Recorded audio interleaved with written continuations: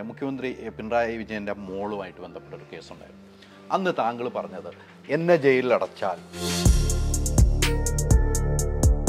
T M Jacob sir മരിച്ച് അദ്ദേഹത്തിന്റെ വീട്ടിൽ ഞാൻ പോവുകയാണ്. ഞാൻ അവിടെ ചെല്ലുമ്പോൾ അദ്ദേഹത്തിന്റെ മകൾ ഒരു മിനിറ്റ് ഒന്ന് കാണണമെന്ന് പറഞ്ഞു. അവർ എന്നോട് ഒരു കാര്യം പറഞ്ഞു. ഇത് ട്വന്റി ട്വന്റി എന്ന് പറയുന്നത് ഒരു അവസാന ബസ്സാണ് കേരളത്തെ സംബന്ധിച്ച്. കോൺഗ്രസിൽ നിന്ന് ആണല്ലോ കൂടുതൽ ആളുകൾ ബി ജെ പിയിലേക്ക് പോകുന്നത്. ഇന്നത്തെ രീതിയിൽ എൽ ഡി എഫും യു ഡി എഫും മാറി മാറി ഭരിച്ചുകൊണ്ടിരുന്നു കഴിഞ്ഞാൽ ഇനി ഒരു ഇരുപത് വർഷം മുന്നോട്ട് പോകട്ടെ. കേരളത്തിലെ മലയാളി ഉണ്ടാവില്ല. ഇത്രയൊക്കെ സംഭാവനകൾ ഞങ്ങൾ ഇവർക്കൊക്കെ കൊടുത്തിട്ടുണ്ടെങ്കിലും ഒരു രൂപയുടെ പോലും ഒരു സഹായമോ പ്രതിഫലമോ ഇതുവരെ ഞങ്ങൾ ആരിൽ നിന്നും ചോദിച്ചിട്ടുമില്ല വാങ്ങിയിട്ടുമില്ല. അപ്പോൾ ഇപ്പോഴാണ് സുപ്രീം കോടതിയൊക്കെ ഇടപെട്ടിരിക്കുന്നത്. ഞങ്ങൾ എന്ന് ഇലക്ഷൻ ബോണ്ട് ഇലക്ട്രൽ ബോണ്ട് മേടിച്ചോ അന്ന് ആ ക്വാർട്ടറിലെ റിസൾട്ടിൽ ഇത് പബ്ലിഷ് ചെയ്തിട്ടുണ്ട്. ഓക്സിജനിൽ വമ്പിച്ച വിലക്കുറവുമായി Keralam കൂളാകും A C discount sale Oxygen the cooling expert.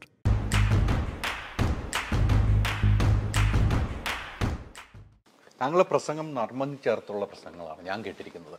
പല പ്രസംഗം ഒരു തമാശ കോമഡികൾ കൊണ്ടുവരും. ഇതൊക്കെ പഠിച്ചു വെച്ചിരിക്കുകയാണോ? ആരെയും കണ്ടുപിടിച്ചിരുന്നോ? ഹൃദയത്തിൽ വരുന്ന നമുക്കൊരു പ്രസംഗം ഞാനിപ്പോൾ ഒരു ഒരു ആങ്കർ ചെയ്യണമെങ്കിൽ ഞാൻ കുറേ ആളുകൾക്ക് എന്റെ മനസ്സിലുണ്ടാവും. താങ്കളും പണ്ടൊക്കെ പ്രസംഗം കേൾക്കാനൊക്കെ പോയിട്ടുണ്ടാവല്ലോ അങ്ങനെ ഒരു ആരെങ്കിലും താങ്കളുടെ മനസ്സിലുണ്ടോ? ഇതൊന്നുമല്ല.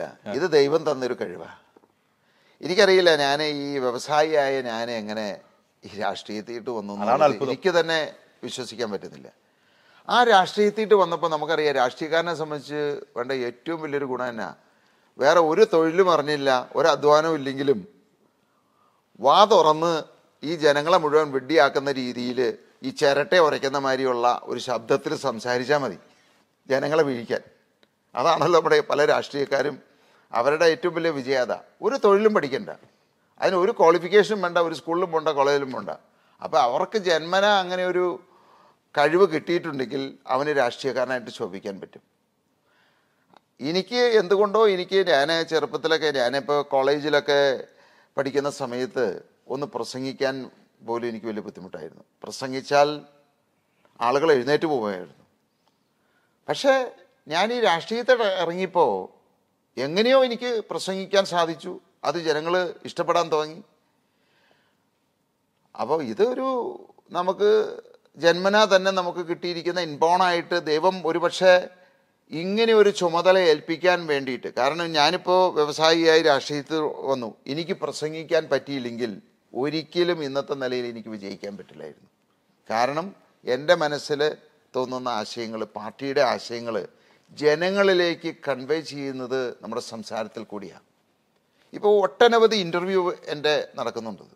ഒരു ഇന്റർവ്യൂവിൽ ഞാൻ ആരോടും മുൻകൂട്ടി എന്താണ് ചോദിക്കാൻ പോകുന്നത്? ഏത് ചോദ്യങ്ങളും ഏത് സമയത്തും ഉത്തരം പറയാൻ ഞാൻ റെഡിയാണത്. കാരണം എനിക്ക് ആലോചിക്കേണ്ട കാര്യമില്ല. കാരണം അതിൽ വളരെ ആത്മാർത്ഥയോടുകൂടി സ്ട്രെയിറ്റ് ആയിട്ടുള്ള ഒരു ആൻസറാണത് നമ്മൾ കള്ളത്തരം ആലോചിക്കുമ്പോൾ അല്ലെങ്കിൽ അതിനകത്തൊരു കുറുക്ക് ബുദ്ധി ആലോചിക്കുമ്പോഴാണ് നമ്മൾ ആലോചിക്കേണ്ടി വരുന്നത്. അപ്പോൾ എന്റെ മനസ്സിൽ തോന്നുന്ന കാര്യം പറയുന്നു. അത് ജനങ്ങൾ ഇഷ്ടപ്പെടുന്നു. അത് കറക്റ്റാണ് താങ്കൾ ഒന്നും ആലോചിക്കാതെ തന്നെ പറയും. പറയുന്നത് പറഞ്ഞ സമയത്ത് ഉറച്ചു നിൽക്കുകയും ചെയ്യും. പിന്നീട് എത്ര നാൾ ഒന്ന് കഴിഞ്ഞ് ചോദിച്ചാലും ആ അതിന്റെ മറുപടി തന്നെയായിരിക്കും. ഞാൻ താങ്കളെ ഇതിനു മുമ്പ് ഇന്റർവ്യൂ ചെയ്തിട്ടുണ്ട് ഇപ്പോഴും ചെയ്യുമ്പോൾ എനിക്ക് മനസ്സിലായതാണ് എന്റെ ഒരു കാഴ്ചപ്പാടാണ് പറയുന്നത്. മറ്റൊരു പ്രധാനപ്പെട്ട ശ്രീനിവാസൻ നടൻ ശ്രീനിവാസൻ. ട്വന്റി ട്വന്റിയുമായി ബന്ധപ്പെട്ട് ശ്രീനിവാസൻ ചേർന്ന് നിന്നു മരിച്ചുപോയ സിദ്ദീഖ്. ചേർന്ന് നിന്നു. പിന്നീട് ഒരു സുപ്രഭാതത്തിൽ ശ്രീ ശ്രീനിവാസൻ തന്നെ പറയുന്നു എനിക്ക് ഇതുമായിട്ട് യോജിച്ച് പോകാൻ കഴിയില്ല എന്ന് പറഞ്ഞ് ശ്രീനിവാസൻ മാറുന്നു. അതൊക്കെ എന്താണ് സംഭവിച്ചത്? ഇല്ല ശ്രീനിവാസൻ മാറിയിട്ടില്ല. ശ്രീനിവാസന് അന്ന് മുതലേ ആരോഗ്യ പ്രശ്നങ്ങൾ ഞങ്ങളുടെ പാർട്ടി ചേരുമ്പോൾ തന്നെ അദ്ദേഹം വളരെ അവശനായിരുന്നു. അദ്ദേഹം സജീവമായിട്ട് പാർട്ടിയിൽ അല്ലെങ്കിൽ പങ്കെടുത്തിട്ടില്ല എന്നേ ഉള്ളൂ. അദ്ദേഹം വളരെ അവശതയിലായിരുന്നു അന്ന് തന്നെ. അന്ന് തന്നെ ഞങ്ങൾ ഇതുമായിട്ട് ഇരുപത്തിയൊന്നിലെ തെരഞ്ഞെടുപ്പിനോടനുബന്ധിച്ചാണ് അതിൽ ചേർന്നത്. പക്ഷേ പല ഇതിലും വളരെ ബുദ്ധിമുട്ടി അദ്ദേഹം പങ്കെടുത്തുകൊണ്ടിരുന്നത്. അധികം നേരം സംസാരിക്കാൻ ബുദ്ധിമുട്ടുണ്ടായിരുന്നു. അപ്പോൾ വളരെ ചുരുക്കമായിട്ടുള്ള പരിപാടികളിൽ ചില റെക്കോർഡിങ്ങിലൊക്കെയാണ് അദ്ദേഹം വന്നിട്ടുള്ളത്. ഒരിക്കലും അതിനുശേഷം ഞങ്ങളുമായിട്ട് അല്ലെങ്കിൽ അദ്ദേഹം ട്വന്റി ട്വന്റിയെ തള്ളി പറയുകയോ ഈവൻ അവസാനമായിട്ട് തന്നെ പല ഇന്റർവ്യൂവിലും അദ്ദേഹം ട്വന്റി ട്വന്റിയാണ് ഇവിടെ വരേണ്ടത്. അദ്ദേഹം ആദ്യം കമ്മ്യൂണിസ്റ്റിൽ ചേർന്നു കോൺഗ്രസിൽ ചേർന്നു അതിനെ കൃത്യമായിട്ട് ഓർക്കുന്നില്ല. ഏറ്റവും അവസാനം ട്വന്റി ട്വന്റിയിലാണ് ഞാൻ ചേർന്നിരിക്കുന്നത് എന്ന് പറയുണ്ടായിട്ടുണ്ട് അദ്ദേഹം ഒരിക്കലും നമ്മളുമായിട്ട് ഇത് ചെയ്തിട്ടില്ല. അതുപോലെ മറ്റേ മരിച്ചുപോയ നമ്മുടെ സിദ്ദിഖിന്റെ കാര്യത്തിൽ അദ്ദേഹം അന്ന് തന്നെ ഒരുപാട് തിരക്കുകളുള്ള ആളായിരുന്നു. ഏതെങ്കിലുമൊക്കെ ഒരു മീറ്റിംഗ് വിളിക്കുമ്പോൾ ഞങ്ങൾ മൂന്ന് നാല് പേരായിട്ടുള്ള മീറ്റിങ്ങുകളിലല്ലാതെ അങ്ങനെ ഒരു സജീവമായിട്ട് ഏതെങ്കിലും ഒരു പബ്ലിക് മീറ്റിങ്ങിലോ അങ്ങനെ ഒന്നും പ്രസംഗിച്ചിട്ടില്ല ഒരിക്കലും. അപ്പം അവരൊക്കെ ആശയപരമായിട്ട് യോജിക്കുന്നു പക്ഷേ അവർക്ക് തിരക്കുകളുണ്ട് സമ്മർദ്ദങ്ങളുണ്ട്. ഈ പല ആളുകളെയും പുറമേ നിന്നുള്ള സമ്മർദ്ദങ്ങളാണത്. ഇപ്പോൾ നമ്മുടെ നടൻ ജയറാം തന്നെ ഞങ്ങളുടെ പരിപാടികളിൽ വന്ന് വളരെ ഭംഗിയായിട്ട് സംസാരിച്ചിട്ടുണ്ട്. പക്ഷെ കഴിഞ്ഞ ഇലക്ഷനൊക്കെ അദ്ദേഹത്തിന് ആ അദ്ദേഹം സംസാരിച്ച കാര്യം ഞങ്ങൾ ടെലികാസ്റ്റ് ചെയ്യുന്നതിന് തന്നെ ആളുകൾ വിലക്കുണ്ടായി. അദ്ദേഹം നേരിട്ട് വിളിച്ചത് നിർത്തണം ചെയ്യരുത് എന്ന് പറയണ്ടേ അപ്പോൾ ഇതൊക്കെ അവരുടെയൊക്കെ ഒരു സമ്മർദ്ദമാണ്. സമ്മർദ്ദത്തിൽ ജീവിതമാർഗമാണ്. അപ്പോൾ അവർക്ക് അതിനനുസരിച്ച് ഒഴുക്കിനനുസരിച്ച് പോയാലേ പറ്റൂ. താങ്കൾക്ക് ജീവിതത്തിലെ ഏറ്റവും വലിയ ശത്രു ആരാണ്? നമുക്കേ നമ്മൾ എപ്പോഴും നമുക്കറിയാം ദൈവങ്ങൾക്ക് പോലും ശത്രുക്കളുണ്ടായിട്ടുണ്ട്. മഹാഭാരതം എടുത്താലും ബൈബിൾ എടുത്താലും ഖുറാൻ എടുത്താലും ഒക്കെ നമുക്കറിയാം.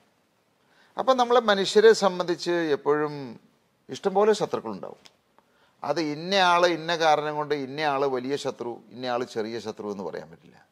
പക്ഷേ എന്റെ ശത്രു എന്ന് പറയുന്നത് ഈ നാടിനെ ദ്രോഹിക്കുന്ന ഈ ജനങ്ങളെ ദ്രോഹിക്കുന്ന ആരായാലും അല്ലെങ്കിൽ ഈ നാട് നശിപ്പിക്കുന്നവരെല്ലാം എന്റെ ശത്രുക്കളാണ്. അവരോടാണ് ഞാൻ യുദ്ധം ചെയ്യുന്നത്. പിന്നെ ഇത് ഈ ശത്രുക്കൾ ഉണ്ടാകുമ്പോഴാണ് നമ്മൾ വളരുന്നത്. നമ്മൾ വളരുന്ന നമുക്ക് ശത്രുക്കളില്ല നമ്മൾ പറയുന്ന കാര്യങ്ങളെല്ലാം ശരിവെക്കുന്ന ഒരു സമൂഹമാണെന്നുണ്ടെങ്കിൽ ഒരിക്കലും നമുക്ക് വളരാൻ സാധിക്കില്ല. അപ്പോൾ തീർച്ചയായിട്ടും വിമർശനങ്ങൾ വരിക ശത്രുക്കൾ വരിക അതാണ് നമ്മളെ വളർത്തുന്നതും എന്നെ വളർത്തിയതും അത് തന്നെയാണ്. എത്രത്തോളം എതിർപ്പുകൾ ഉണ്ടാകുന്നു ശത്രുക്കൾ ഉണ്ടാകുന്നു ഞാൻ കൂടുതൽ വളർന്നിട്ടേ ഉള്ളൂ. തീർച്ചയാണ് താങ്കൾക്ക് ഏറ്റവും ഇഷ്ടപ്പെട്ട മുഖ്യമന്ത്രിയുടെ പേര് പറയാൻ പറഞ്ഞു ആരുടെ പേര് പറയും? ഞാൻ എനിക്ക് ഇപ്പോൾ ഈ അടുത്ത കാലത്താണല്ലോ ഞാൻ രാഷ്ട്രീയത്തിലൊക്കെ സജീവമായിട്ട് ഇടപെട്ട് തുടങ്ങിയത്. പക്ഷേ എനിക്ക് ഇപ്പോൾ കേരളത്തിൽ പറയുകയാണെങ്കിൽ നമ്മുടെ പി കെ വാസുദേവൻ നായർ അദ്ദേഹത്തെ പോലെ അദ്ദേഹം എന്റെ പിതാവിന്റെ ഏറ്റവും അടുത്ത സുഹൃത്തായിരുന്നത് അതായത് ആദർശം കൊണ്ടും പ്രവൃത്തി കൊണ്ടും സംസാരം കൊണ്ടും ഏറ്റവും നല്ലൊരു മനുഷ്യനായിട്ട് കണ്ട ഒരാളാണ് ഞാനത്. അതുപോലെയൊക്കെയുള്ള ആളുകളെ ഇനി കാണാൻ പറ്റുമോ എന്നാണ് സംശയം.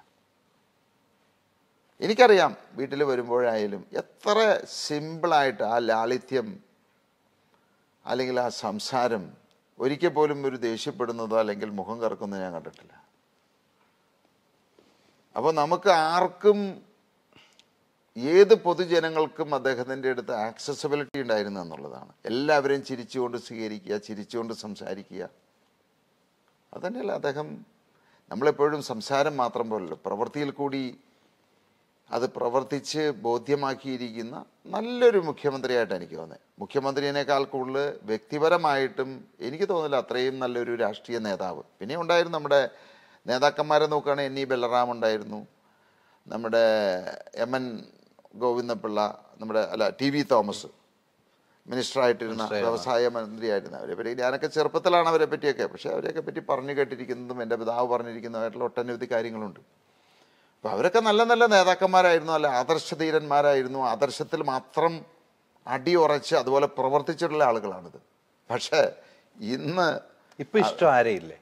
ഇപ്പം ഇഷ്ട ഇഷ്ടപ്പെട്ട ഒരു നേതാവ് അങ്ങനെ നമുക്ക് ഇഷ്ടപ്പെട്ട ഒരു നേതാവിന്റെ പേര് പറയാൻ പറഞ്ഞാൽ ആരുടെ പേര് പറയും? ഏത് പാർട്ടി ആയിക്കോട്ടെ? നമുക്ക് എനിക്കിപ്പോൾ ഇഷ്ടം എന്ന് പറയുന്ന പ്രത്യേകിച്ച് അങ്ങനെ ഒരു ഇഷ്ടം ആരോടുമില്ല. പക്ഷേ ഞാൻ ഇഷ്ടപ്പെട്ടിരുന്ന ഒരു നേതാവായിരുന്നു നമ്മുടെ ടി എം ജേക്കബ്. അതുപോലെ തന്നെ ഇപ്പോൾ ഈ സി പി ഐയുടെ പന്ന്യൻ രവീന്ദ്രൻ. വളരെ നല്ല ഒരു മനുഷ്യനായിട്ട് ഞാൻ വീട്ടിൽ വന്നിട്ടുണ്ട് സംസാരിച്ചിട്ടുണ്ട്. ഇവരൊക്കെ നല്ല നല്ല വ്യക്തികളാണ് അവർ ആദർശവും സംസാരവും പ്രവൃത്തിയും ഒക്കെ ഈ നാട് നന്നാവണം. ജനങ്ങൾ നന്നാവണമെന്ന് ആഗ്രഹിക്കുന്ന ആളുകളാണത്. പക്ഷെ അവർക്കൊക്കെ ഉയർന്നു വരാൻ സാധിച്ചിട്ടില്ല എന്നുള്ളതാണ്. അടിച്ചമർത്തപ്പെടുന്നുണ്ടല്ലേ? ഇന്നത്തെ രാഷ്ട്രീയത്തിൽ സത്യസന്ധത ആത്മാർത്ഥത അല്ലെങ്കിൽ ഇതിനൊന്നും അങ്ങനെയുള്ളവർക്കൊന്നും ഒരിക്കലും രാഷ്ട്രീയത്തിൽ വിജയിക്കാൻ സാധിക്കില്ല. മുഖ്യമന്ത്രി പിണറായി വിജയനുമായിട്ട് അടുത്ത് നിന്ന ഒരു വ്യക്തിയാണ് ഇപ്പോൾ അകന്ന് നിൽക്കുന്ന വ്യക്തിയാണ്. മുഖ്യമന്ത്രി പിണറായി വിജയനുള്ള ഒരു പോസിറ്റീവ് വശം എന്തെങ്കിലും പറയാൻ പറ്റുമോ താങ്കൾക്ക്? ഞാൻ അദ്ദേഹവുമായിട്ട് അതായത് ഒരു അദ്ദേഹത്തിന് സ്വന്തമായിട്ട് ഒരു കാര്യം ആലോചിച്ച് അല്ലെങ്കിൽ അത് അതിനെപ്പറ്റി ചിന്തിച്ച് ഒരു കാര്യം നടപ്പിലാക്കാനായിട്ടുള്ള ഒരു കഴിവ് അദ്ദേഹത്തിന് ഉണ്ടായിരുന്നില്ല പക്ഷേ നമ്മളൊരു കാര്യം നല്ലൊരു കാര്യം അല്ലെങ്കിൽ ഏതെങ്കിലും ഒരു കാര്യങ്ങൾ നമ്മൾ അദ്ദേഹത്തിനോട് പറഞ്ഞാൽ വളരെ പെട്ടെന്ന് വളരെ ഷാർപ്പാണ്. വളരെ ഫാസ്റ്റായിട്ട് അദ്ദേഹം അത് ഗ്രാസ്പ് ചെയ്യുന്നുള്ളതാണത്. നമ്മൾ അധികം നേരം അതിനെപ്പറ്റി വിശദീകരിക്കേണ്ട കാര്യമില്ല. ഇനി അത് നടപ്പിലാക്കണം എന്ന് അദ്ദേഹത്തിന് മനസ്സിൽ തീരുമാനിച്ചാൽ അത് നടപ്പിലാക്കും അദ്ദേഹം. ഇനി അത് നമുക്ക് ആ മുഖഭാവത്തിൽ നിന്ന് മനസ്സിലാവും. ചിലപ്പോൾ മനസ്സിലായാലും അതങ്ങനെ തന്നെ അങ്ങോട്ട് വിഴുങ്ങിക്കളയും പുള്ളി. അതിന്റെ അർത്ഥം എന്താണ്? അത് നടപ്പിലാക്കില്ല. അത് കൃത്യമായിട്ട് അറിയാവുന്ന ഒരു വ്യക്തിയാണ് താങ്കൾ അല്ലേ?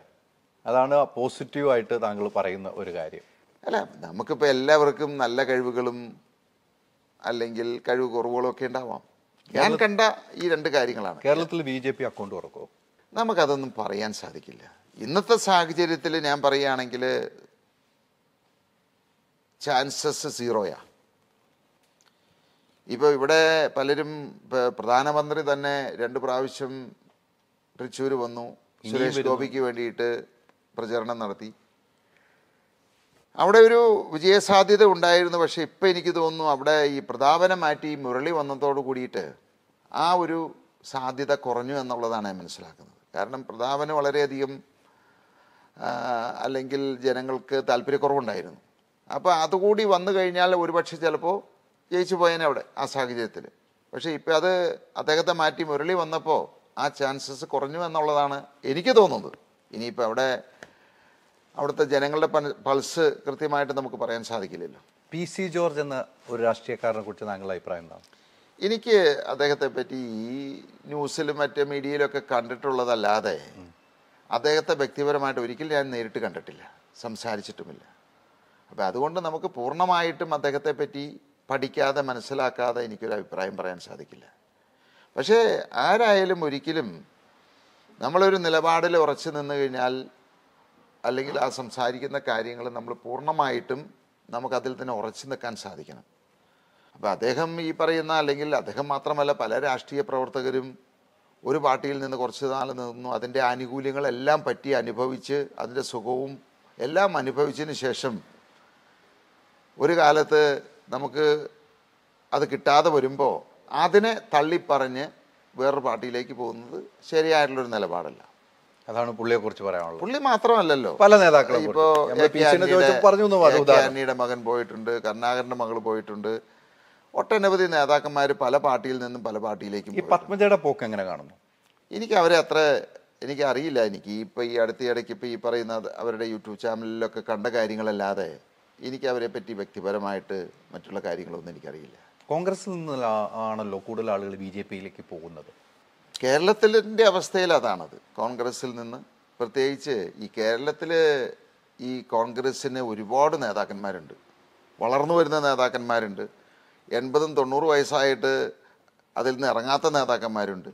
അപ്പോൾ തീർച്ചയായിട്ടും അങ്ങനെ അവർക്ക് അവസരങ്ങൾ കിട്ടില്ല എന്ന് വരുമ്പോൾ അവസരങ്ങൾ കിട്ടുന്ന പാർട്ടിയിലേക്ക് പോകുന്നു. ഇപ്പോൾ എ കെ ആന്റണിയുടെ മകൻ തന്നെ അതിനൊരു ഉദാഹരണമാണത്.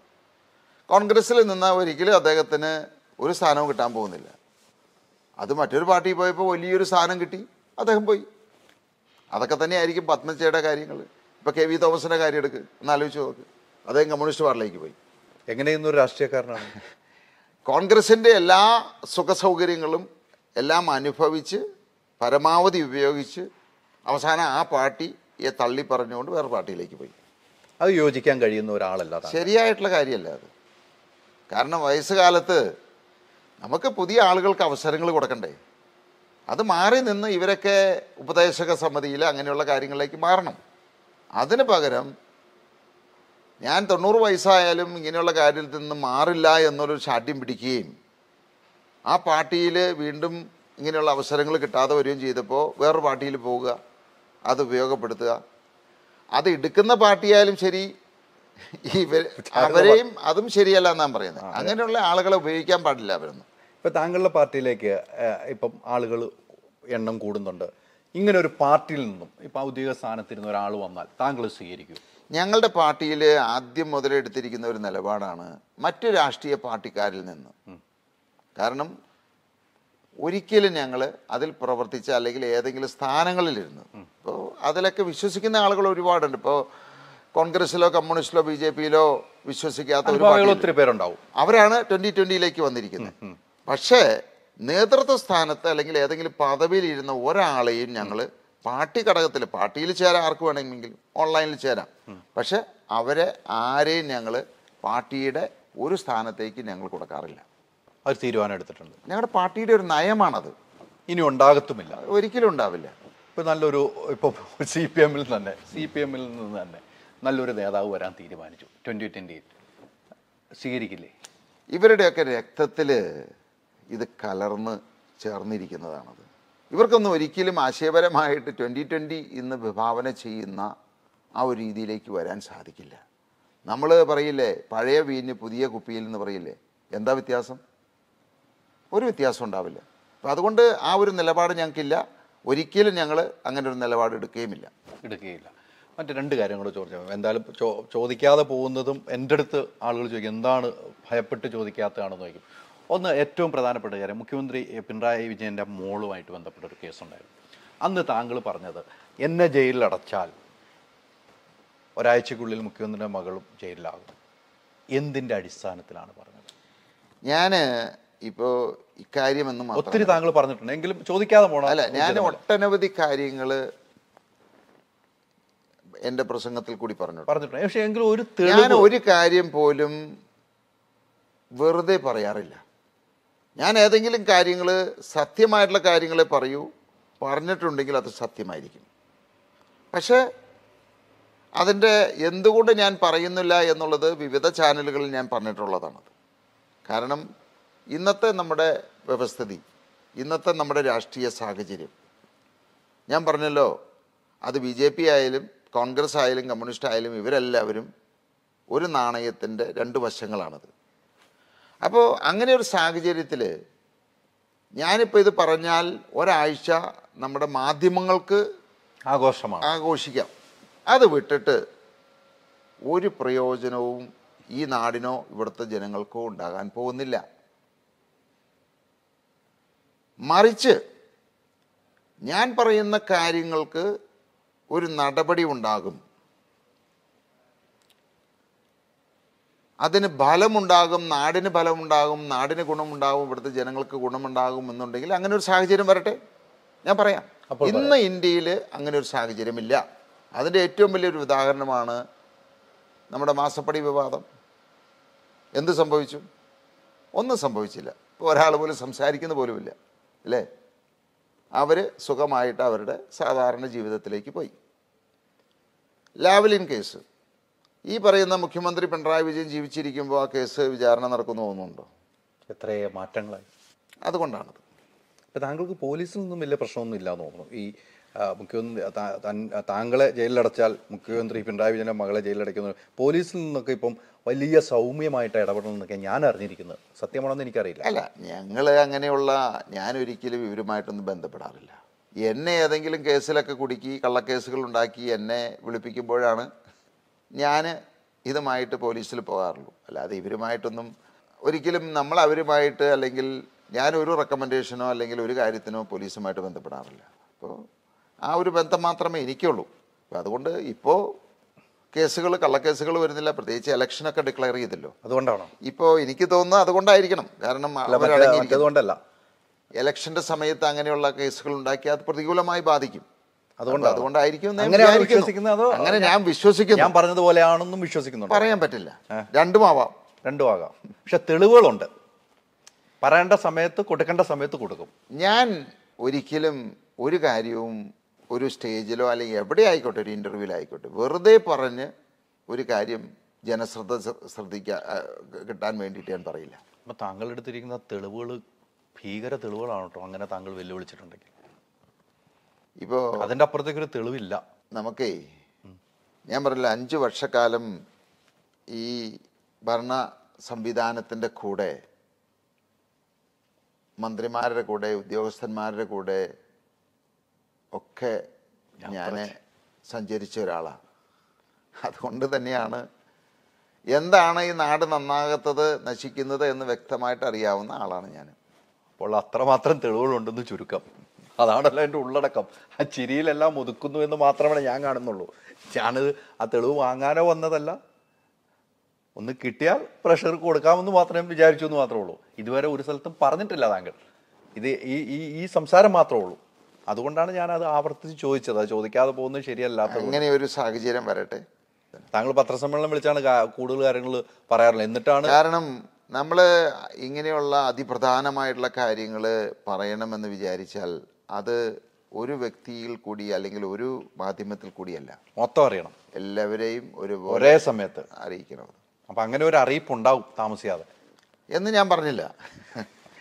അതിന്റെ ഒരു സാഹചര്യം വരട്ടെ എന്നാണ് ഞാൻ പറഞ്ഞത്. സാഹചര്യം ഉണ്ടായാൽ നമ്മൾ വെളിപ്പെടുത്തുമെന്ന് തന്നെയാണ് പറഞ്ഞല്ലോ. ഇന്നത്തെ ഇന്ത്യയിലുള്ള സാഹചര്യം അതല്ല. അതിനപ്പുറത്തേക്കാണ് ഏറ്റവും കൂടുതൽ സംഭാവന കൊടുത്തിരിക്കുന്ന പാർട്ടി ആരായിരിക്കും? താങ്കൾ.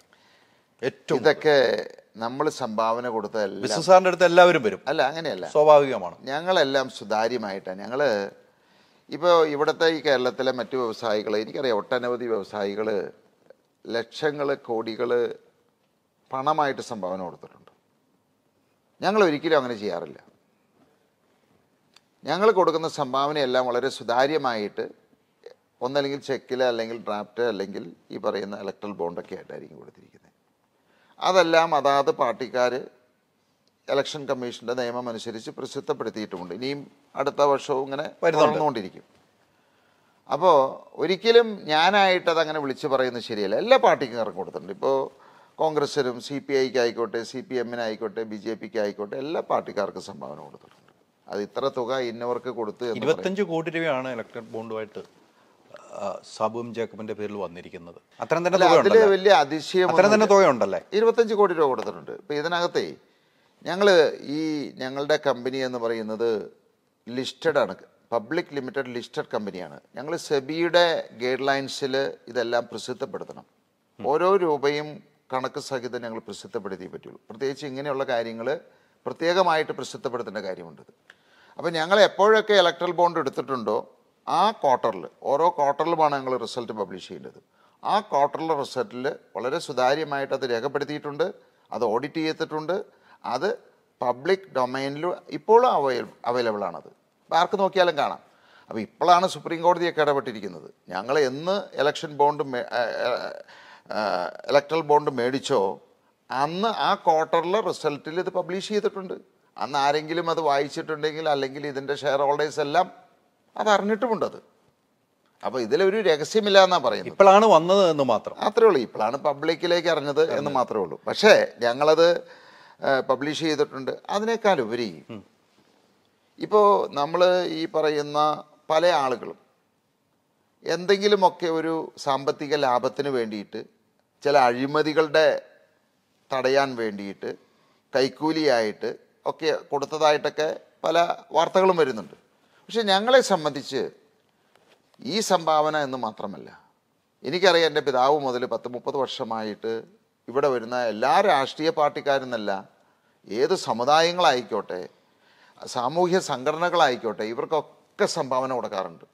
എന്റെ അച്ഛൻ കൊടുക്കുന്ന സംഭാവന കൊടുക്കുന്നത് നോക്കിക്കഴിഞ്ഞാൽ ആര് സംഭാവന ചോദിച്ചു വന്നാലും കൊടുക്കാറുണ്ടെന്നുള്ളതാണത് പക്ഷേ ഇത്രയൊക്കെ സംഭാവനകൾ ഞങ്ങൾ ഇവർക്കൊക്കെ കൊടുത്തിട്ടുണ്ടെങ്കിലും ഒരു രൂപയുടെ പോലും ഒരു സഹായമോ പ്രതിഫലമോ ഇതുവരെ ഞങ്ങൾ ആരിൽ നിന്നും ചോദിച്ചിട്ടുമില്ല വാങ്ങിയിട്ടുമില്ല. ആർക്ക് വേണമെങ്കിലും പരിശോധിക്കാം. ഒരു ഗവൺമെന്റ് സംവിധാനങ്ങളിൽ നിന്നോ ഉദ്യോഗസ്ഥ സംവിധാനത്തിൽ നിന്നോ ഏതെങ്കിലും ഒരു രാഷ്ട്രീയ പാർട്ടിയിൽ നിന്നോ ഒരു റെക്കമെൻഡേഷന് പോലും ഞങ്ങൾ ആവശ്യപ്പെട്ടിട്ടില്ല അത് ചെയ്തിട്ടില്ല ഇനി ഒട്ട് ചെയ്യുമില്ല. അത് ഞങ്ങൾ മക്കളായ ഞങ്ങൾ രണ്ടുപേരോടും ഞങ്ങളുടെ അച്ഛൻ പറഞ്ഞിട്ടുണ്ട് അദ്ദേഹവും ചെയ്തിട്ടില്ല നിങ്ങളും ഒരിക്കലും ചെയ്യരുത് എന്ന്. ഇപ്പം രണ്ടായിരത്തി അഞ്ചിൽ ഇന്നത്തെ മുഖ്യമന്ത്രി പാർട്ടിയുടെ സെക്രട്ടറിയാണ് ഏത് കാര്യങ്ങൾ വേണമെങ്കിലും ഞങ്ങൾക്ക് സാധിക്കാം. ഒരാൾക്കും പറയാൻ സാധിക്കില്ല. നമ്മുടെ ടി എം ജേക്കബ് സാറ് മരിച്ച് അദ്ദേഹത്തിന്റെ വീട്ടിൽ ഞാൻ പോവുകയാണ്. ഞാൻ പലപ്പോഴും അതിനു മുമ്പ് അദ്ദേഹം ജീവിച്ചിരിക്കുമ്പോൾ അദ്ദേഹം മന്ത്രിയായിരിക്കുമ്പോൾ ഒക്കെ പോയിട്ടുണ്ടത് അദ്ദേഹം അന്നേരം മന്ത്രിയായിരുന്നു മരിക്കുന്ന സമയത്ത്. അതെ അതെ. ഞാൻ അവിടെ ചെല്ലുമ്പോൾ അദ്ദേഹത്തിന്റെ മകൾ ഈ അദ്ദേഹത്തിന്റെ ബോഡിയുടെ അടുത്ത് സൈഡിലിരിക്കുന്നു ഭാര്യ ഇരിക്കുന്നു ഈ മകളെ ഞാൻ അവിടെ പോകുമ്പോൾ കണ്ടിട്ടുണ്ട് ഞങ്ങൾ ഒരിക്കലും സംസാരിച്ചിട്ടില്ല. പക്ഷേ ഞാൻ അവിടെ ചെന്ന് ഞാൻ അത്രയും ഇഷ്ടപ്പെട്ടിരുന്ന ഒരാളാണ് അത്രമാത്രം ഒരു ആത്മബന്ധം ഞങ്ങൾ തമ്മിലുണ്ടായിരുന്നു. എനിക്ക് വളരെയധികം സങ്കടം വന്ന ഒരു ഒരു ഒരു കാര്യമായിരുന്നു അത്. അപ്പോൾ അവിടെ ചെന്ന് ഞാൻ അവിടെ നിന്നു. കണ്ടു. ഈ മകൾ അവിടെ നിന്ന് എന്നോട് ഒരു മിനിറ്റ് ഒന്ന് കാണണമെന്ന് പറഞ്ഞു. അവിടെ നിന്ന് എഴുന്നേറ്റ്. ബോഡിയുടെ അടുത്തുനിന്ന് അപ്പോൾ അവർ എഴുന്നേറ്റ് പുറകിലത്തെ മുറിക്കട. അപ്പോൾ ഞാൻ വിചാരിച്ചു പെട്ടെന്ന് എന്താണ് എന്ന് വിചാരിച്ചു. ഞാൻ ഇപ്പുറത്തേക്കടെ ഇറങ്ങി ഞാനും അകത്ത് ആ മുറിയിലേക്ക് വിളിച്ചു. ഞാൻ ചെന്ന് കഴിഞ്ഞപ്പോൾ അവർ എന്നോട് ഒരു കാര്യം പറഞ്ഞു. അച്ചാച്ചനോ എന്താണ് എനിക്ക് തോന്നുന്നു അവർ പറഞ്ഞത്. അങ്ങനെയാണ് വിളിച്ചുകൊണ്ടിരുന്നതെന്ന് എനിക്ക് തോന്നുന്നു. അച്ചാച്ചൻ എപ്പോഴും പറയാ പറയുമായിരുന്നു ഞങ്ങളോട്. യാതൊരു പ്രതിഫലവും പ്രതീക്ഷിക്കാതെ നമ്മളെ സഹായിച്ചിരിക്കുന്ന ഒരേ ഒരാൾ സാബുചേട്ടനാണ്. ഇപ്പം എനിക്ക് ഇവിടെ വെച്ചത് പറയണമെന്ന് തോന്നി അത് ഞാൻ അതുകൊണ്ട് പറഞ്ഞതാണെന്ന് പറഞ്ഞു. അപ്പോൾ മനസ്സിലായല്ലോ? ഇത് തന്നെയാണ് ഏത് രാഷ്ട്രീയക്കാരും ഒരു രാഷ്ട്രീയക്കാർക്ക് പോലും ഞങ്ങൾ അങ്ങോട്ട് സഹായിച്ചിട്ടുള്ളതല്ലാതെ രാഷ്ട്രീയ പാർട്ടി ആയിക്കോട്ടെ സഹായിച്ചിട്ടുള്ളതല്ലാതെ ഒരു സഹായവും ഞങ്ങൾ തിരിച്ച് ചോദിച്ചിട്ടില്ല അത് വാങ്ങിയിട്ടില്ല ഇനിയൊട്ട് വാങ്ങുകയുമില്ല. അല്ല ഇപ്പോൾ താങ്കൾ പറഞ്ഞ വാക്ക് ഭയങ്കരമാണ് കേട്ടോ ടി എം ജേക്കബ് മരിച്ചു കിടക്കുമ്പോൾ ബോഡിയുടെ അടുത്ത് മോൾ മകളാണ് എഴുന്നേറ്റ് മോൾ പറിച്ചുകൊണ്ട് വിളിച്ചുകൊണ്ട് പോയി അകത്ത് നിന്ന് പറഞ്ഞിട്ടുണ്ടല്ലോ. അത് ഇന്നും ജീവിച്ചിരിപ്പുണ്ടോ മോളിലെടുത്ത് ചോദിച്ചാൽ ഇന്നും അറിയാൻ പറ്റുമോ അത്. ചോദിച്ചു നോക്കാലോ. അല്ല അതൊരു അവർ താങ്കൾ പറഞ്ഞു അദ്ദേഹത്തിന്റെ ശവശരീരത്തിന്റെ അടുത്ത് നിന്ന് എഴുന്നേറ്റ് വന്ന് എന്നെ വിളിച്ചിട്ടാണ് ഇക്കാര്യം പറയുന്നത്. അച്ചാച്ചൻ എപ്പോഴും ഞങ്ങളോട് പറയാറുണ്ടെന്നാ പറഞ്ഞത്. വലിയൊരു പോയിന്റാണ് താങ്കൾ പറഞ്ഞത്. അതിന്റെ ഏറ്റവും വലിയ ഉദാഹരണം മറ്റൊരു കാര്യമുണ്ട് ഇത്രയും ശത്രുവായിട്ട് ഇപ്പം കാണുന്ന മുഖ്യമന്ത്രി പിണറായി വിജയൻ നിങ്ങൾ കൂടെ നടന്നു പാർട്ടി സെക്രട്ടറി ആയിരുന്നപ്പോഴും ഫണ്ട് കൊടുത്തിട്ടുണ്ട്. ഇന്ന് വരെ താങ്കൾ ഇങ്ങനെ ഒരു സഹായം ചോദിച്ചു എന്ന് ഈ മുഖ്യമന്ത്രി ഇന്നുവരെ പറഞ്ഞ് നമ്മളാരും കേട്ടിട്ടുമില്ല. ഒരാളും പറയില്ല. മുഖ്യമന്ത്രി എന്നുള്ളതല്ല ഒരു രാഷ്ട്രീയക്കാരും പറയില്ല. ഞങ്ങൾ പണം കൊടുത്തിട്ട് ഏതെങ്കിലും സഹായം ചോദിച്ചിട്ടുണ്ടോ? പിന്നെ സഹായം ശത്രുത നിങ്ങളോട്? രാഷ്ട്രീയമല്ലേ? ഞങ്ങൾ രാഷ്ട്രീയത്തിൽ ഇറങ്ങി അപ്പോൾ തീർച്ചയായിട്ടും ഞാൻ സംസാരിക്കുന്നതും എതിർക്കുന്നതും ഒക്കെ അവരെയാണത്. തീർച്ചയായിട്ടും ആർക്കും ഇഷ്ടപ്പെടില്ല. വല്ലാത്തൊരു ശത്രുതയാണല്ലേ? താങ്കളെ കണ്ണ് നിറയുന്നു ടി എൻ ജേക്കബിന്റെ കാര്യം പറഞ്ഞു. അല്ല അത് ഞങ്ങൾ തമ്മിൽ അങ്ങനെ ഒരു അതുകൊണ്ടാണ് എനിക്ക്. നിറഞ്ഞ് ഞാൻ കണ്ടോണ്ടാണ് ഇപ്പോൾ അതുകൊണ്ടല്ല ഞങ്ങൾ തമ്മിൽ അങ്ങനെ ഒരു ബന്ധമുണ്ടായിരുന്നത്. മനസ്സിൽ ഞങ്ങളെ സംബന്ധിച്ച് എപ്പോഴും ഈ അധികാരമുള്ളപ്പോൾ ഒരാളെ സഹായിക്കുന്നതല്ല. അവർ മന്ത്രിയായിരിക്കും അവർക്ക് ഇഷ്ടംപോലെ പണം കിട്ടും. ഞാൻ അദ്ദേഹത്തെ സഹായിച്ചിരിക്കുന്നത് ഏറ്റവും അധികം അദ്ദേഹം അധികാരത്തിലില്ലാതിരുന്നപ്പോഴാണ്. അധികാരത്തിലില്ലാതെ ഇരുന്ന അദ്ദേഹത്തിന്റെ പേരിൽ ഒരുപാട് കേസുകൾ വന്നു. ഇടമലയാർ എന്തുവാണെന്ന് എനിക്ക് തോന്നുന്നു. അതെ അതെ. അങ്ങനെ ലക്ഷങ്ങളും കോടികളും ഒക്കെ ചെലവാക്കുന്ന സമയത്ത് അദ്ദേഹം പറയുന്ന പണം കൊടുത്ത് ഞാൻ സഹായിച്ചിട്ടുണ്ട്. പക്ഷെ ഒരിക്കലും ഒരു കാര്യം പോലും ഞാൻ ആവശ്യപ്പെട്ടിട്ടില്ല. അദ്ദേഹം അദ്ദേഹത്തിന്റെ മക്കളോട് പറഞ്ഞ് ആ മക്കൾ എന്നോട് പറഞ്ഞു എന്നുള്ളതാണത്. അത് അപ്പോൾ അതാണ് ഈ സാബു ജേക്കബ് എന്റെ അച്ഛൻ എന്റെ സഹോദരൻ ഇതെല്ലാം ഞങ്ങൾ ഞങ്ങളുടെ കുടുംബത്തിന്റെ ആ ഒരു പ്രിൻസിപ്പളിൽ ഞങ്ങൾ ജീവിച്ചു വന്നിട്ടുള്ളത് ഇനിയും അങ്ങനെ പോവുള്ളൂ ഒരു മനസ്സാണ് കേട്ടോ ഞാൻ ഇത്രയും താങ്കളുടെ അടുത്ത് ഇതുവരെ സംസാരിച്ചിട്ടില്ല. ഇപ്പം സംസാരിച്ച എനിക്ക് എന്തിൽ വരുമ്പോഴാണ് താങ്കൾ എന്താണെന്ന് മനസ്സിലാക്കി കൊടുക്കുന്ന രീതിയിലൊരു കാര്യം പോത്തിലേ പോയത് അതൊരിക്കലും മറക്കാൻ പറ്റാത്ത ഒരു അനുഭവമാണ് താങ്കൾ ഇപ്പോഴും താങ്കൾ പറഞ്ഞു ടി എം ജേക്കബ് എന്ന വ്യക്തി അത് കുടുംബത്തിൽ വരെ പറഞ്ഞിരിക്കുന്നു എന്നുള്ളതാണ്. അല്ലെങ്കിൽ ഒരിക്കലും ആ മകൾ പറയില്ലല്ലോ ആ സമയത്ത്. അനൂപൊക്കെ ആയിട്ട് ഇപ്പോൾ ബന്ധമുണ്ടോ?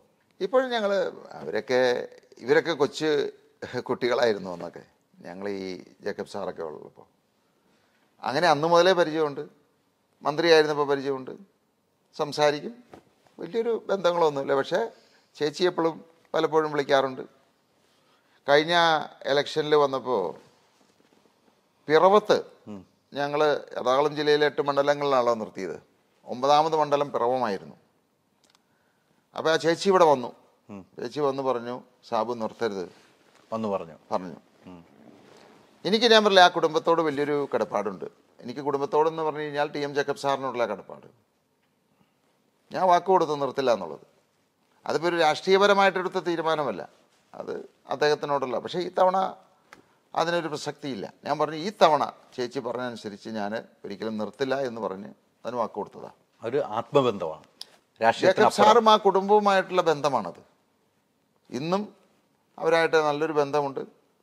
ആ ബന്ധം തുടരുന്നു. പക്ഷെ അധികം കാണാറും സംസാരിക്കാറും താങ്കൾ ഇങ്ങനെ ഒത്തിരി പേരെ സഹായിച്ചിട്ടുണ്ടെങ്കിൽ താങ്കൾ ഒരു പേര് പറഞ്ഞിട്ടുള്ള ടി എം ജേക്കബിനെ മാത്രമാണ് അല്ലേ? ഇങ്ങനെ എത്രയോ പേരെ സഹായിച്ചിട്ടുണ്ടാവും. എല്ലാ രാഷ്ട്രീയക്കാരും എല്ലാ രാഷ്ട്രീയ പാർട്ടിക്കാരും. കാരണം ഇപ്പോൾ കോൺഗ്രസ് എന്നൊക്കെ പറയുമ്പോൾ വ്യക്തിഗത രീതിയിലാണ്. നമ്മളിപ്പോൾ സി പി എം പോലെയൊക്കെ എന്ന് പറഞ്ഞാൽ അവർ പാർട്ടിയിലാണ് മേടിക്കുന്നത്. വ്യക്തികൾ മേടിക്കാറുണ്ട്. ഇപ്പോൾ പഴയ പോലെയൊന്നുമല്ല. പക്ഷേ കോൺഗ്രസ് എന്ന് പറയുമ്പോൾ എല്ലാ നേതാക്കന്മാരും വരും പലരും വരും എല്ലാവരുമായിട്ടൊക്കെ ബന്ധമുണ്ട്. ചോദിക്കുന്ന ആളുകൾക്ക് എന്തെങ്കിലുമൊക്കെ കൊടുത്ത് ആരെയും നിരാശപ്പെടുത്താറില്ല. ഇപ്പം ആ പിരിവ് എന്ന സംവിധാനം നിന്നില്ലേ? ഒരു രാഷ്ട്രീയ പാർട്ടിയിലായ ഈ സംഭവം വന്നതിന് ശേഷം രാഷ്ട്രീയ പാർട്ടി ആയതിനു ശേഷമാണല്ലോ സി പി എമ്മും സി പി ഐ ഒക്കെ ഇപ്പോൾ ഈ അടുത്തിടയ്ക്കൊക്കെ ഇപ്പൊ ഇത് വലിയ ഒരു വിവാദമായതിനു ശേഷം ഇപ്പൊ ഈ ഇലക്ഷനുമായിട്ട് ബന്ധപ്പെട്ട് ആരും വന്നിട്ടില്ല. എല്ലാവർക്കും ഭയമായിരിക്കുന്നു എനിക്ക് തോന്നുന്നു. അതുകൊണ്ടാണത്. അതൊരു മെച്ചമായി തോന്നുന്നുണ്ടോ? അങ്ങനെയൊന്നും ഞങ്ങൾ കരുതുന്നില്ല. ഇതെല്ലാവരും ഞാൻ പറയുന്നില്ലേ സംഭാവന അല്ലെങ്കിൽ ഇപ്പൊ ഒരു സാമൂഹ്യ സംഘടനയ്ക്ക് കൊടുക്കുന്നു മത ഒരു ഇലക്ഷൻ വരുമ്പോൾ എത്ര കോടി രൂപ സംഭാവന അങ്ങനെയൊന്നും പറയാൻ സാധിക്കില്ല നമുക്ക് ഇതൊന്നും പരസ്യമായിട്ട് വെളിപ്പെടുത്താവുന്ന സംഗതി. ഓരോ ഇലക്ഷനും ഓരോ രീതിയിലാണ് പഞ്ചായത്ത് ഇലക്ഷൻ മുതൽ നിയമസഭാ ഇലക്ഷന് പാർലമെന്റ് ഇലക്ഷന് ഇതിനെല്ലാം പണം കൊടുക്കേണ്ടി വരും അത്. അതിപ്പോൾ ഞങ്ങൾ അമേരിക്കയിൽ ഞങ്ങൾ ബിസിനസ് നടത്തുന്നുണ്ട് അമേരിക്കയിലും കൊടുക്കുന്നുണ്ട്. അതിപ്പോൾ ആരെയും ഭയപ്പെട്ടിട്ടൊന്നുമല്ല. ഞങ്ങളുടെ അടുത്തൊക്കെ നേരത്തെയൊക്കെ ശരിയാണത്. ഞങ്ങളൊക്കെ ഇത്രയൊക്കെ വളർന്നതിന് ശേഷം ആരും ഭീഷണിപ്പെടുത്തി അല്ലെങ്കിൽ ഇത്ര കിട്ടണം എന്ന് പറഞ്ഞ ആരും ഒന്നും മേടിക്കാറില്ല. അപ്പോൾ അവർ ചോദിക്കും നമ്മൾ ആ തുക വളരെ കൂടുതലാണെങ്കിൽ അത് പറ്റില്ല എന്ന് പറയും. അപ്പോൾ അത് എന്താണെന്ന് വെച്ചാൽ പറയും അപ്പോൾ അത് ഞങ്ങൾ അങ്ങനെ കൊടുക്കും. അത്ര നേരിട്ട് സാബു എം ജേക്കബിനെ സമീപിക്കാൻ കഴിയുമോ അവർക്ക്? അതോ വേറെ ആൾ മുഖേനാണ് സമീപിക്കുന്നത്? അങ്ങനെയല്ല എല്ലാവരും എന്നെ വിളിക്കും അല്ലെങ്കിൽ എന്റെ സഹോദരനെ വിളിക്കും. എന്റെ ഫാദർ ഉണ്ടായിരുന്നപ്പോൾ ഫാദറിനെ വിളിക്കും. ഞങ്ങൾ മൂന്ന് പേരെ നേരിട്ടാണ് വിളിക്കാറ്. വേറെ ആരും അതിന് മീഡിയേറ്റേഴ്സ് ഒന്നുമില്ല. ഒന്നുമില്ല. ഒന്നുമില്ല. അത് കൊടുക്കുന്നതിന് മീഡിയേറ്റേഴ്സ് ഇല്ല. കാരണം ഞങ്ങൾ വളരെ സുതാര്യമായിട്ടല്ലേ കൊടുക്കുന്നത് പണമായിട്ടൊക്കെ കൊടുക്കണ്ടെങ്കിലല്ലേ നമ്മൾ രഹസ്യമായിട്ട് കൊടുക്കേണ്ട കാര്യമുള്ളൂ. എല്ലാം സുതാര്യം നിയമപരമായിട്ടുള്ള കാര്യങ്ങളാണ് നിയമം ലംഘിച്ച ഒരു കാര്യം ഉണ്ടാവില്ല. അതുകൊണ്ടാണല്ലോ പന്ത്രണ്ട് റെയ്ഡ് ഇവിടെ നടത്തി. ഒരു ചെറിയ നിയമലംഘനം പോലും എന്റെ പേരിൽ കണ്ടുപിടിക്കാൻ സാധിച്ചില്ല. ഈ കേരളത്തിൽ എത്ര കമ്പനി ഉണ്ടാവും അതുപോലത്തെ? ഓരെണ്ണം പോലും ഉണ്ടാവില്ല. എന്തൊക്കെ ആക്ഷേപമായിരുന്നു അല്ലെന്ന്? ഇതെല്ലാം നേരിട്ട് മുന്നേറിക്കൊണ്ടിരിക്കുകയാണ് താങ്കൾ. ഏ? ഇപ്പോൾ ഒരു രാഷ്ട്രീയ പാർട്ടിയിൽ സ്വന്തം രാഷ്ട്രീയ പാർട്ടിയിൽ ആളുകൾക്കുള്ള സേവനമായിട്ട് ആദ്യം പറഞ്ഞതുപോലെ ബിസിനസ്സും രാഷ്ട്രീയവും രണ്ടും രണ്ട് തട്ടാണ് എന്ന് പറഞ്ഞതുപോലെ പോലെ ട്വന്റി ട്വന്റി വളരട്ടെ ഒരാശയം മാറ്റമുണ്ടാകട്ടെ അത് ആഗ്രഹിക്കുന്നവർക്കുണ്ടാകട്ടെ താങ്കളുടെ ബിസിനസ് നല്ല രീതിയിൽ പോകുന്നുണ്ടെന്ന് അറിയുമ്പോൾ സന്തോഷം ഇനിയും നല്ല നല്ല ബിസിനസ്. ഇപ്പം ഒരു കാര്യം തെലങ്കാനയിൽ പോയിട്ട് എന്തായെന്നും കൂടെ അറിഞ്ഞാൽ കൊള്ളാം ഞങ്ങളുടെ ആദ്യത്തെ യൂണിറ്റ് ആദ്യത്തെ യൂണിറ്റ് ജൂണിൽ പ്രവർത്തനം ആരംഭിക്കും. ഇപ്പൊ ഈ ഇലക്ഷൻ കാരണമാണ് അതിനാൽ ജൂണിൽ പ്രവർത്തനം രണ്ടാമത്തെ യൂണിറ്റ് അടുത്ത വർഷം ജൂണിലും ആരംഭിക്കും. അവിടെ അൻപതിനായിരം പേർക്ക് ഞങ്ങൾ തൊഴിൽ നൽകാൻ പോകുന്നത്. അൻപതിനായിരം പേർക്ക്. കേരളത്തിന് നഷ്ടമായത് നിസ്സാര കാര്യമല്ല. അപ്പോൾ ആളുകൾ അതിനെ പറയും ഇവിടെയാണെങ്കിലും അന്യസംസ്ഥാനക്കാരാണ് മലയാളികളില്ല. മലയാളികൾ ഇല്ല എന്നുള്ളതല്ല മലയാളികളെ കിട്ടാത്തത് കൊണ്ടാണത്. എത്ര മലയാളി വന്നാലും ഞങ്ങൾ കൊടുക്കാൻ തയ്യാറാണത്. പക്ഷേ അവർ ജോലി ചെയ്യാൻ തയ്യാറാവണ്ടേ. അപ്പോൾ അത് വലിയൊരു നഷ്ടമാണ്. പിന്നെ രാഷ്ട്രീയത്തിലേക്ക് പറയുമ്പോൾ ഞാൻ ഒരു കാര്യം കൂടി പറയുകയാണ്. ഇത് ട്വന്റി ട്വന്റി എന്ന് പറയുന്നത് ഒരു അവസാന ബസ്സാണ് കേരളത്തെ സംബന്ധിച്ച്. ജനങ്ങൾ അത് മനസ്സിലാക്കി ചിന്തിച്ചില്ല എന്നുണ്ടെങ്കിൽ നഷ്ടപ്പെടുന്നത് ട്വന്റി ട്വന്റി പാർട്ടിക്കോ അതിന് നേതൃത്വം കൊടുക്കുന്ന സാബു ജേക്കബിനല്ല ഈ കേരളത്തിലാണ് ഇവിടുത്തെ ജനങ്ങൾ കാണുന്നത്. ഇന്നത്തെ രീതിയിൽ എൽ ഡി എഫും യു ഡി എഫും മാറി മാറി ഭരിച്ചുകൊണ്ടിരുന്നു കഴിഞ്ഞാൽ ഇനി ഒരു ഇരുപത് വർഷം മുന്നോട്ട് പോകട്ടെ. കേരളത്തിൽ മലയാളി ഉണ്ടാവില്ല. എന്തെങ്കിലും തലയ്ക്കകത്തുള്ള ആളുകളൊക്കെ ഈ നാട് വിട്ടിരിക്കും. ഇനി അവശേഷിക്കുന്ന ആരെങ്കിലും ഉണ്ടെങ്കിൽ അവർക്കവിടെ ജീവിക്കാനും സാധിക്കില്ല. അതായിരിക്കും അവസ്ഥ. അപ്പോൾ അതെല്ലാവരും ചിന്തിച്ചാൽ നമ്മൾ ഈ പറയുന്ന രീതിയിൽ എന്നെ വിമർശിച്ചും എന്നെ കുറ്റം പറഞ്ഞും ഞങ്ങൾ ചെയ്യുന്ന പ്രവൃത്തികളെ തെറ്റായിട്ട് കണ്ടും ഈ ഇലക്ട്രൽ ബോണ്ടും വീണാ വിഷയവും ഇതൊന്നുമല്ല ഇവിടുത്തെ പ്രശ്നം. ഇവിടുത്തെ പ്രശ്നം വിശപ്പാണ് ഭക്ഷണമാണ് നമ്മുടെ ജനങ്ങൾക്ക് മൂന്ന് നേരം സുഖമായിട്ട് ഭക്ഷണം കഴിക്കാനായിട്ടുള്ള സാഹചര്യം ഇവിടെ ഉണ്ടാവണം അത് ഉണ്ടാക്കണം. അവർക്ക് കുടിവെള്ളം കിട്ടണം ശുദ്ധവായു കിട്ടണം. സുരക്ഷിതമായിട്ട് താമസിക്കാനായിട്ടുള്ളൊരു ഭവനം ഉണ്ടാവണം ഇതൊക്കെയാണ് ജനങ്ങളെ സംബന്ധിച്ചുള്ള വിഷയം. നമ്മൾ സംസാരിക്കുന്നത് എന്താണത്? ജപ്പാൻ അമേരിക്കയിൽ ബോംബിട്ടു.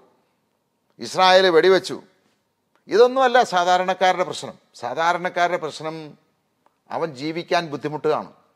അവനെ സംബന്ധിച്ച് അവന്റെ കുട്ടികൾ അവരുടെ കുട്ടികളുടെ ഭാവി അവന്റെ ഓരോ ദിവസത്തെയും ഭക്ഷണം അങ്ങനെയുള്ള പ്രാഥമികമായുള്ള അടിസ്ഥാന സൗകര്യങ്ങളാണത്.